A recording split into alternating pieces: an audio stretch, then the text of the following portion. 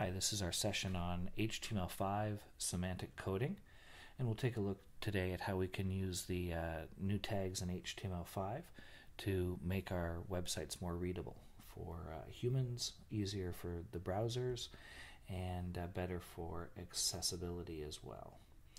Um, so let me go ahead and open up a document in, uh, in Dreamweaver. So Control N or File, Create New. I'm choosing an HTML uh, file here. The layout will be none, and I've set the doc type to HTML5. Click on Create, and you can see it's giving a, giving given us the um, basic structure for a website. Uh, we've got the document type definition or the simplified HTML5 document type definition here. Uh, we've got our header area and i will go ahead and uh, tab that in to make it easier to read. We've got the title, which of course will appear at the top of the, uh, the title bar at the top of our browser.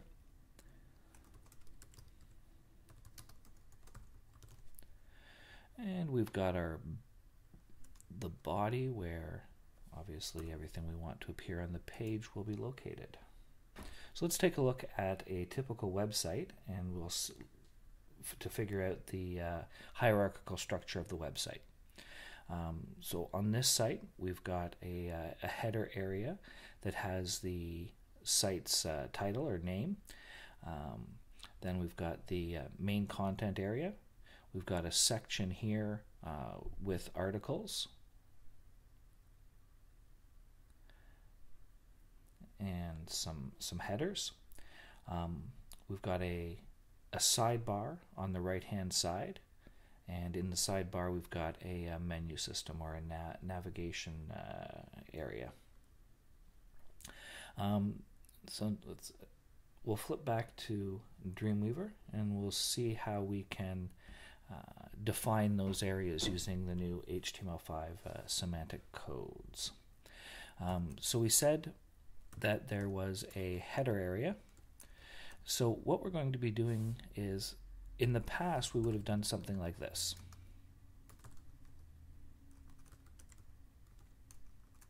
Um, created a, div and uh, set the ID to uh, whatever the fun struct uh, whatever the uh, the type of the element was or whatever the uh, uh, area was.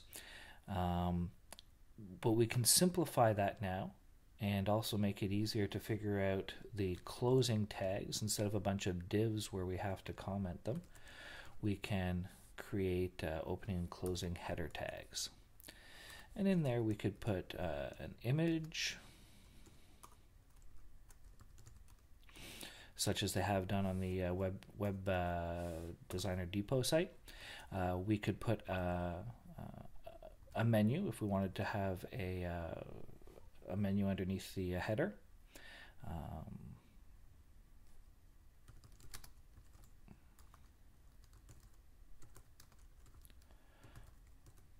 obviously, I'm not uh, creating the links for the menu, but I am putting it inside the new navigation or nav tag for HTML5, so we can clearly identify that as a, uh, uh, a menu or a navigation area. And I can also put uh, text title for the page.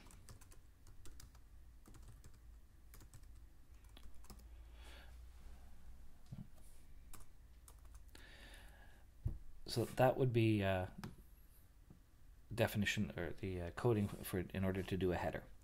After that, what we want to do is we we might want to define um, a content area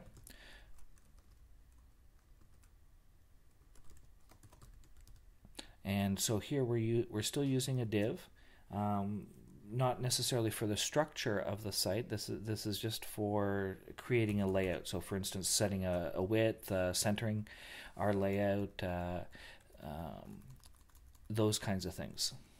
So then inside this, what we'd want to do is define a section.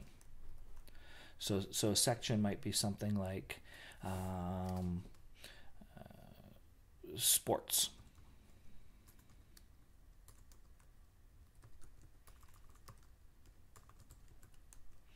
and then we'd have various articles on, uh, on, on sports in that section. And so let's go ahead and create an article.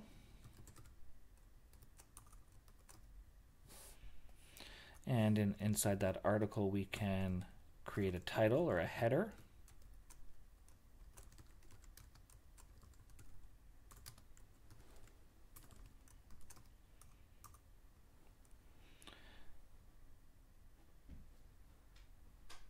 And then we can have the content of the article.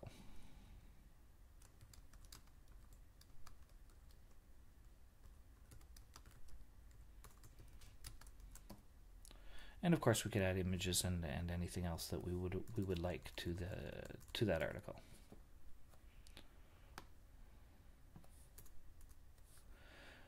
We can have create multiple articles.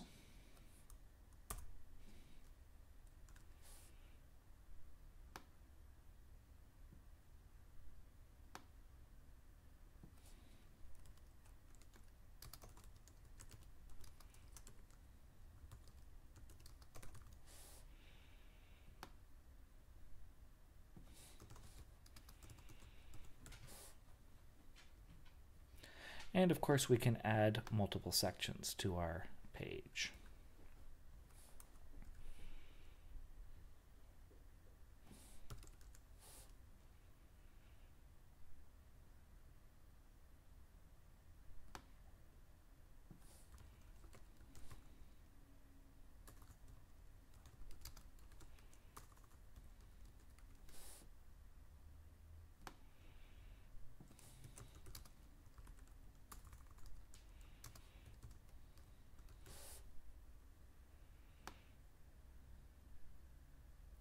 we'll just have one article for now.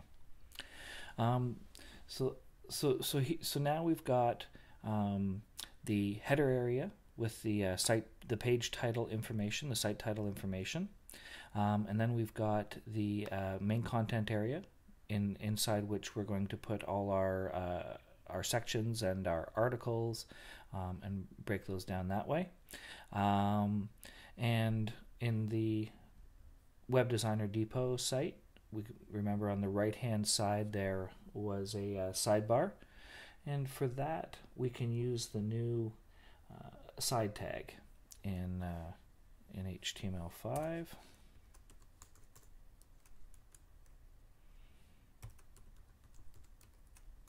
in order to define a sidebar area. And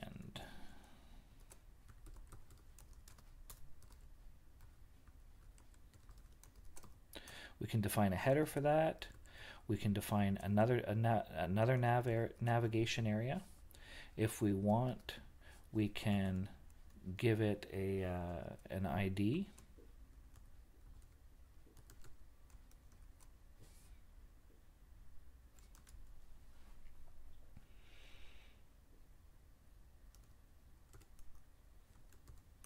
And again, I'm just uh, writing some text, not actually creating links.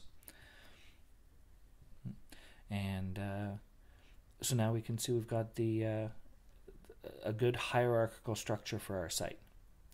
Um, I'm hope hope that this uh, this helps you to understand a little bit more about using semantic coding in uh, in HTML5 and how it's changed since HTML4.